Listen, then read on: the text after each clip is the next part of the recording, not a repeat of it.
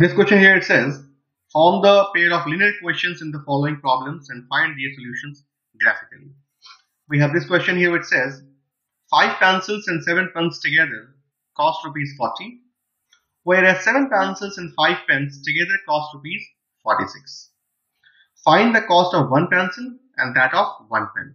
So we have to find out the cost of one pencil and one pen through graphical representation. So let's take pencil as x rupees and pen as say y rupees. It says 5 pencil means 5 pencil at the rate of x rupees plus 7 pens at the rate of y rupees cost me total 50. First equation 7 pencils at the rate of x plus 5 pens at the rate of y cost me 46. That's my second equation.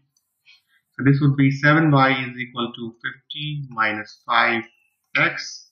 So y would be 50 minus 5x over 7. Here 5y equals to 46 minus 7. So y would be 46 minus 7x over 5. So I have these y values. Let's put them into the graph. So I have this equation 5x plus 7y is equal to 50 which gave me y is equal to 50 minus 5x over 7. And this equation 7x plus 5y equals to 46 which gave me y is equal to 46 minus 7x over 5. Now I have these x values here, smaller values from 0 to 5. Replacing this x with these x values gave me these y values. Replacing this x with the same x values here gave me these y2 values. Now, now I take this table and plot this here into the chart. It gave me these two intersecting lines. Now, these two lines, the place where they are intersecting is, you can see here, x is 3 and y is 5. So 3 for x and 5 for y.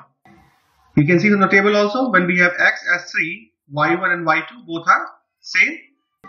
So point of intersection would be the answer for this question through this graph. So I'll write this way, point of intersection is 3 comma 5 so answer would be pencil is X, so pencil would be 3 rupees per piece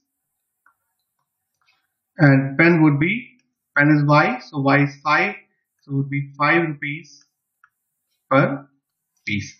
That's the answer for this question through the graph.